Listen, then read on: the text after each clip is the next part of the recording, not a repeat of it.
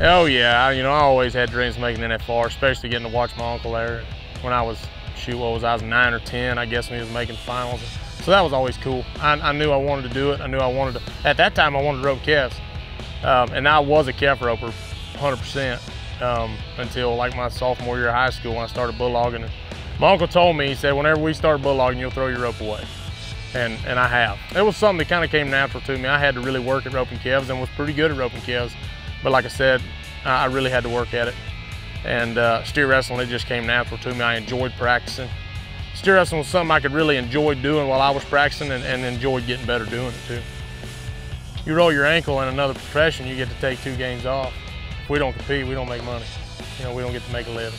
I'm not downplaying what those guys do. What they do is amazing, and they are at they are absolutely 100% athletes. Um, there's a lot of people that take that platform of being a professional athlete and use it in negative ways. As professional cowboys, we never really get to making millions and millions and millions of dollars.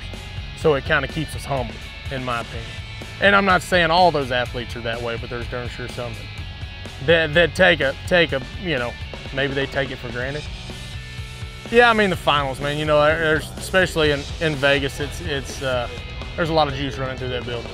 So the first few I ran there, I felt really, I was very comfortable, but but definitely, definitely knew what was going on and, and knew how high stakes it was. And then, uh, you know, had a chance to win the gold buckle in 18. And, and Will Lummus, he's first in the average, he's second in the world, and he's drawn a steer that nobody wanted. They haven't caught him yet in two tries, and his moment has come. Whether that played a factor in it or not, you know, you, you, I don't really know. But he's going to get him caught right here, guys. Look at that. Oh, oh man. No.